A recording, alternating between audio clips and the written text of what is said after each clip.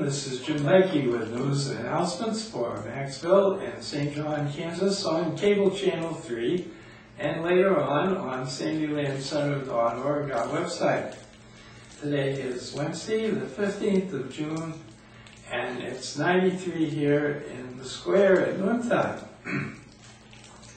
So for both today and tomorrow, it's going to be sunny with the high temperature 101. And then on Saturday, there's a possible thunderstorm, uh, 99 the high temperature with a 50% chance of some rain. And then Sunday, Monday, and Tuesday are all sunny, 99 on Sunday and 100 on Monday and Tuesday. And so here we are, we're starting to get into the really warm weather about two weeks ahead of time. Well, uh, I have no birthdays or anniversaries to announce today, but we do have one thing going on that it seemed like nobody noticed, and that's the farm and art market on the east side of the square on Thursdays from 5 to 7 in the evening. And I've had uh, friends tell me that they went to see the farm and art market and nobody was there. So anyway, uh, take a look. Uh, farm and art market this Thursday, and it'll be from five to seven on the east side of the square. I wonder if anybody has har- har- yeah, harvested anything to have at the square. But anyway, uh, it would be a good thing to check out. Uh, Then we have one trip left with the Recreation Commission, and that's on June 29th, a Wednesday, and that's the Dodge Casino Casino trip, which is the same as all the other Dodge Casino trips, except that they're going to do it in the afternoon. So it's 4 o'clock, they leave, and they're there at the casino from 5:15 to 8:30, and then they're coming back, and they should be back by 10. And it's $10 for the gas. And it's really important to notice the subscript on their uh, flyer, and that's that all trips are subject to the weather forecast. If it's too hot or too windy, the trip will be casual, canceled. And I'm not sure what too hot is, but it could very well be 101 is too hot.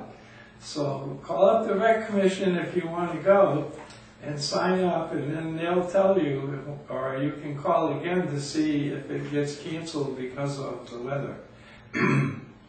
then uh, uh, we we notice in the uh, St. John News uh, that just arrived that, that there is more about the council meeting and the mayor and uh, the mayor's resignation and uh, some of the other things. So uh, I would suggest that everybody get a copy of the St. John News. After all, that's why we have a newspaper. Well, now uh, I just uh, want to do the menus and uh, that is at the VIP Center in Macksville today. They're having baked pollock with macaroni and cheese. And on uh, Thursday, oven fried chicken and mashed potatoes with gravy. And then a barbecue ribette on uh, Saturday, uh, Saturday, Friday with sweet potatoes and fries.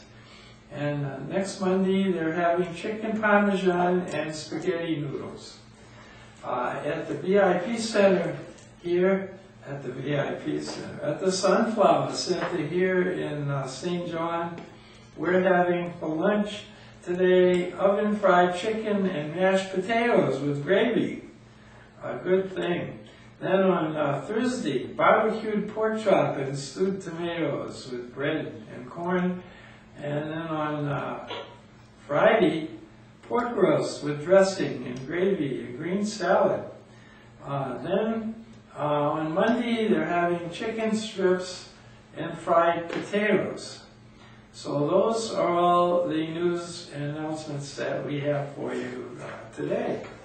So I hope that you all have a good day. We have a, a word of the day that I hope everybody would adopt.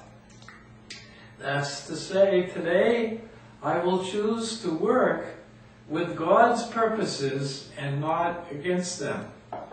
After all, we really don't need God for an enemy. This is Jim Lakey hoping you have a terrific day and that you can stay cool.